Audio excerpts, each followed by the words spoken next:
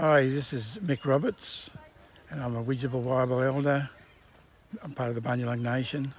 I'm here now at Wine Rocky Creek Dam, and today is about saving water.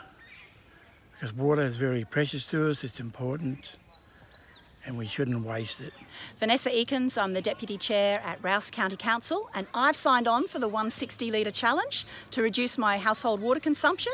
Our average is over 200 litres per person per day in this area, so 160 isn't a great change, but it will reduce our consumption from our dam. And the best way you can do that is by getting a rainwater tank and hooking it up to your toilet or laundry. I'm Arlen and I go to Whian Whian School. Today we are at Rocky Creek Dam and we went for a walk around down, we did the platypus walk and we went over the bridge and then over across the dam wall.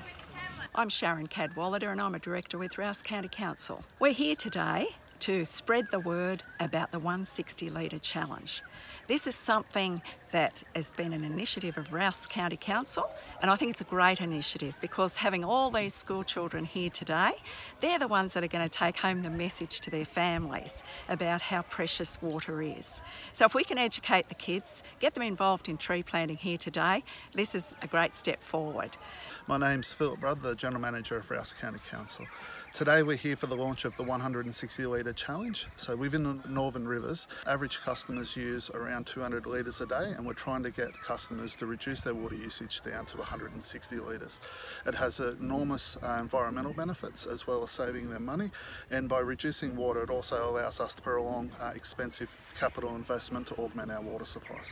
What we need to do is basically start saving water because by 2024 we're going to be under so much pressure that we're going to have to go to water restrictions.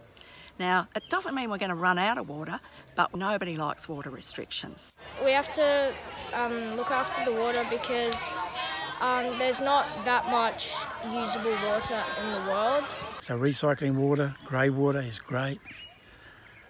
But also if you're going to use your hoses and things, look, honestly, put some water in a bucket, use it and wash with the bucket instead.